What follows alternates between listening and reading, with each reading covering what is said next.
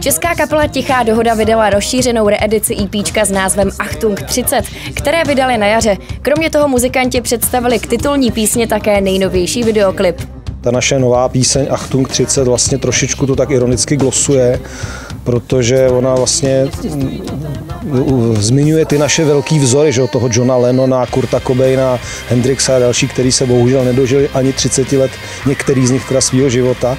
Tak vlastně ta inspirace, že my, i když jsme tu 30 let, tak ještě pořád můžeme hrát na ty kytary a bouchat do těch bubínků a, a tak, jako, tahat ty bedny taky na koncert.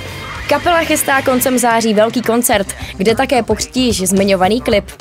Jo, to je přímo v té pijance, to bude, myslím, že to prostě je pěkný, že má takový genius loci, je to taková industriální hala, tovární. 23. září by měl proběhnout ten křest, tak všechny srdečně zvem.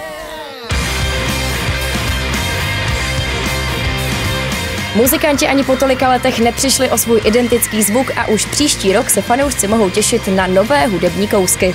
Ano, je to v plánu, aby se udělala příští rok celá nová deska, protože teď jsme to jako nedotáhli, proto vychází tohle, jak já říkám, hybridní album, kde jsou tři nové věci a čtyři vlastně teda eh, čtyři věci klasické, které jsou teda ve verzi se Zuzanou.